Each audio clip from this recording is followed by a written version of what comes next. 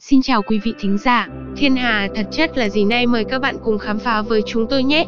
Theo như NASA định nghĩa, các thiên hà bao gồm các ngôi sao, hành tinh và các đám mây khí và bụi khổng lồ, tất cả đều liên kết với nhau bằng lực hấp dẫn. Ngôi sao lớn nhất có hàng nghìn tỷ ngôi sao, và có thể có đường kính hơn một triệu năm ánh sáng. Cái nhỏ nhất có thể chứa vài nghìn ngôi sao và chỉ rộng vài trăm năm ánh sáng. Hầu hết các thiên hà lớn đều có các lỗ đen siêu lớn ở trung tâm, một số có khối lượng gấp hàng tỷ lần mặt trời. Các thiên hà có nhiều hình dạng khác nhau, chủ yếu là hình xoắn ốc và hình elip, cũng như những thiên hà có vẻ ngoài kém trật tự hơn, thường được gọi là không đều. Hầu hết các thiên hà đều có độ tuổi từ 10 tỷ đến 13,6 tỷ năm. Một số gần như giả bằng chính vũ trụ, được hình thành khoảng 13,8 tỷ năm trước. Các nhà thiên văn học cho rằng, thiên hà trẻ nhất được biết đến đã hình thành khoảng 500 triệu năm trước. Các thiên hà có thể tổ chức thành các nhóm khoảng 100 thành viên, hoặc ít hơn được liên kết với nhau nhờ lực hấp dẫn lẫn nhau. Những cấu trúc lớn hơn, được gọi là cụm, có thể chứa hàng nghìn thiên hà. Các nhóm và cụm có thể được sắp xếp thành các siêu đám, không bị ràng buộc bởi lực hấp dẫn. Các siêu đám, khoảng trống trống, bức tường, thiên hà và các cấu trúc quy mô lớn khác tạo nên mạng lưới vật chất vũ trụ, trong vũ trụ. Giải ngân hà của chúng ta đang ở là một thiên hà xoắn ốc với một đĩa sao trải dài hơn 100.000 năm ánh sáng. Trái đất nằm dọc theo một trong những nhánh xoắn ốc của thiên hà, cách trung tâm khoảng một nửa. Hệ mặt trời của chúng ta mất khoảng 240 triệu năm để quay quanh giải ngân hà chỉ một lần. Từ góc nhìn của chúng ta trên trái đất, giải ngân hà trông giống như một dải ánh sáng mờ nhạt, như sữa chạy vòng cung trên toàn bộ bầu trời, đó là lý do nó có tên như vậy. Tính năng này đánh dấu đĩa trung tâm của thiên hà chúng ta nhìn thấy ở rìa. Giải ngân hà nằm trong một khu vực lân cận với hơn 50 thiên hà khác được gọi là nhóm địa phương. Các thành viên của nó có kích thước khác nhau, từ các thiên hà lùn các thiên hà nhỏ hơn có tới vài tỷ ngôi sao, đến Andromeda, thiên hà lớn hàng xóm gần nhất của chúng ta. Nhóm địa phương nằm ngay rìa cụm sừng nữ và là một phần của siêu đám Laniaki. Sau đây chúng tôi xin tiết lộ 10 sự thật về vũ trụ và các ngôi sao mà bạn chưa hề biết như sau. 1. Mọi ngôi sao bạn nhìn thấy trên bầu trời đêm đều lớn hơn và sáng hơn mặt trời của chúng ta.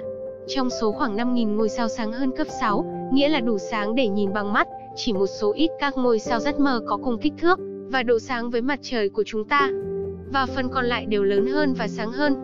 Trong số khoảng 500 ngôi sao sáng hơn cấp 4, về cơ bản bao gồm mọi ngôi sao có thể nhìn thấy bằng mắt thường từ khu vực đô thị, tất cả đều lớn hơn và sáng hơn mặt trời của chúng ta về bản chất, với tỷ lệ phần trăm lớn. Trong số 50 ngôi sao sáng nhất mà mắt người có thể nhìn thấy từ trái đất, ngôi sao kém sáng nhất về bản chất là Alpha Centauri, hệ sao gần trái đất nhất ở cách xa 4,2 năm ánh sáng. Và Alpha Centauri vẫn sáng hơn 1,5 lần so với mặt trời của chúng ta. Hơn nữa, vì nó ở rất xa về phía nam trên vòng bầu trời, nên không thể dễ dàng nhìn thấy nó từ hầu hết bắc bán cầu. 2. Bạn không thể nhìn thấy hàng triệu ngôi sao trong đêm tối. Bất chấp những gì bạn có thể nghe thấy trong quảng cáo truyền hình, những bài thơ và bài hát, bạn không thể nhìn thấy hàng triệu ngôi sao ở bất cứ đâu. Đơn giản là không có đủ ngôi sao đủ gần và đủ sáng để bằng một triệu ngôi sao. Vào một đêm thực sự đặc biệt, không có mặt trăng và cách xa mọi nguồn ánh sáng, một người có thị lực rất tốt có thể nhìn thấy 2.000 đến 2.500 ngôi sao cùng một lúc, mặc dù việc đếm ngay cả con số nhỏ này cũng sẽ khó khăn.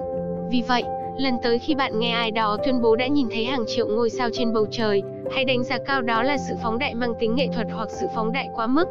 Điều đó không đúng và không thể đúng. 3. Đỏ là nóng và xanh là lạnh có đúng không? Chúng ta quen gọi những thứ có màu đỏ là nóng và những thứ có màu xanh là mát. Điều này không hoàn toàn vô lý, vì que poker trong lò sưởi đào rực rất nóng và băng, đặc biệt là ở các sông băng và vùng cực, có thể có màu hơi xanh.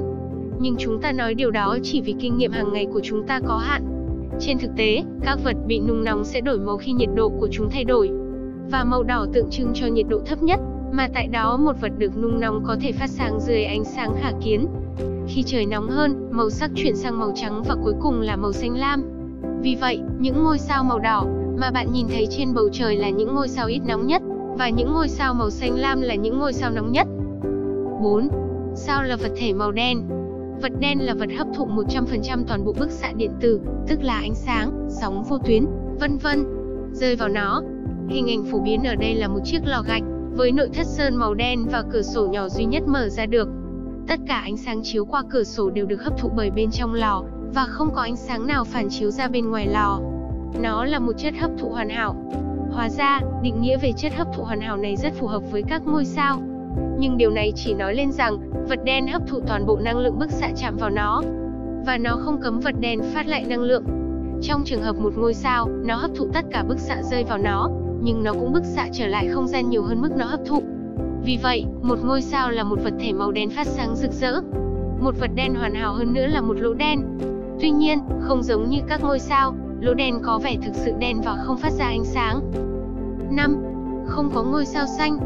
Có những tuyên bố giải rác về các ngôi sao có màu xanh lục, bao gồm cả Beta Librae Jubenis Chamali. Nhưng hầu hết những người quan sát không nhìn thấy màu xanh lá cây ở bất kỳ ngôi sao nào ngoại trừ hiệu ứng quang học từ kính thiên văn của họ, hoặc nếu không thì đó là một đặc điểm riêng của tầm nhìn và độ tương phản cá nhân. Các ngôi sao phát ra quang phổ màu sắc, cầu vồng, bao gồm cả màu xanh lá cây. Nhưng mối liên hệ giữa mắt và não của con người trộn lẫn các màu sắc lại với nhau, theo cách mà hiếm khi có màu xanh lá cây. Một màu có thể lấn át bức xạ, nhưng trong phạm vi bước sóng và cường độ tìm thấy ở các ngôi sao, màu xanh lá cây bị trộn lẫn với các màu khác. Và trong trường hợp đó ngôi sao xuất hiện màu trắng. Đối với các ngôi sao, màu sắc chung từ nhiệt độ thấp đến cao là đỏ, cam, vàng, trắng và xanh lam. Theo như mắt người có thể thấy thì không có ngôi sao xanh nào cả. 6. Mặt trời của chúng ta là một ngôi sao xanh. Tuy nhiên, những gì đã nói ở trên, mặt trời của chúng ta là một ngôi sao xanh lục, hay cụ thể hơn là một ngôi sao màu lục lam, có bước sóng cực đại nằm rõ ràng trong vùng chuyển tiếp trên quang phổ giữa xanh lam và lục lam. Đây không chỉ là một sự thật vu vơ, mà còn quan trọng vì nhiệt độ của một ngôi sao có liên quan đến màu sắc của bước sóng phát xạ chiếm ưu thế nhất của nó ôi. Trong trường hợp của mặt trời, nhiệt độ bề mặt là khoảng 5.800 Kelvin, khoảng 5.500 độ C hoặc 10.000 độ F, hoặc 500 nanomet, màu xanh lục xanh lam.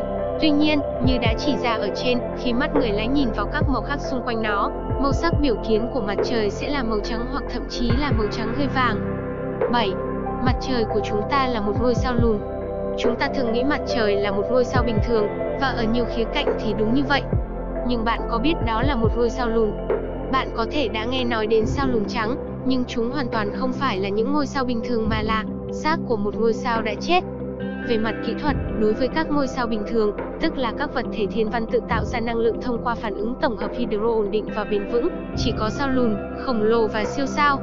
Những ngôi sao khổng lồ và siêu khổng lồ đại diện cho giai đoạn cuối cùng, tuổi già của các ngôi sao. Nhưng đại đa số các ngôi sao, những ngôi sao đang ở giai đoạn tiến hóa lâu dài và trưởng thành, được các nhà thiên văn học gọi là chuỗi chính, được gọi là sao lùn.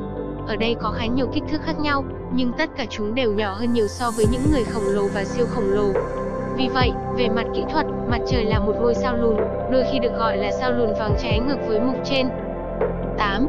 Những ngôi sao không lấp lánh. Các ngôi sao dường như lấp lánh, lấp lánh, đặc biệt khi chúng ở gần đường trên trời. Ngôi sao sáng nhất, Sirius, đôi khi lấp lánh, nhấp nháy và lóe sáng nhiều đến mức người ta thực sự nghĩ đó là UFO. Vậy lấp lánh có phải là đặc tính của các ngôi sao? Không, đó là đặc tính của bầu khí quyển hỗn loạn của trái đất. Khi ánh sáng từ một ngôi sao truyền qua bầu khí quyển, đặc biệt khi ngôi sao xuất hiện gần đường trên trời, nó phải đi qua nhiều lớp có mật độ thường thay đổi nhanh chóng. Điều này có tác dụng làm trịch hướng ánh sáng giống như một quả bóng trong máy pinball. Cuối cùng, ánh sáng tới mắt bạn, nhưng bất kỳ sự lệch nào cũng khiến nó thay đổi một chút về màu sắc và cường độ. Kết quả là lấp lánh.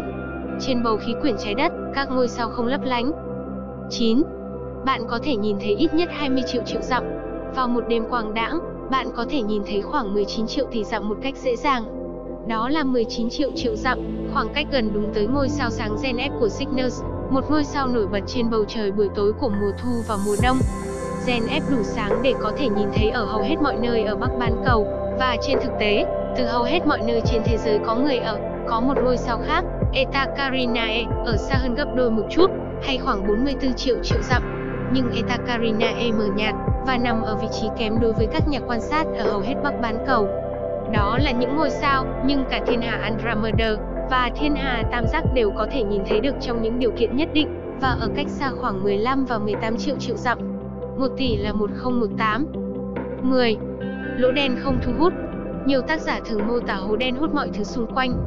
Và mối quan tâm chung của những người thiếu hiểu biết là các lỗ đen mini, được đưa ra giả thuyết cho đến nay có thể được tạo ra bởi máy va chạm hadron lớn, LHC và sẽ hút mọi thứ xung quanh chúng trong một cơn lốc hàng ngày, tăng lên và sẽ hủy diệt trái đất. Hãy nói không phải vậy đi, Doe. Chà, tôi không phải Doe Jackson sơn không dày, nhưng không phải vậy. Trong trường hợp của LHC, điều đó không đúng vì một số lý do, nhưng các lỗ đen nói chung không hút.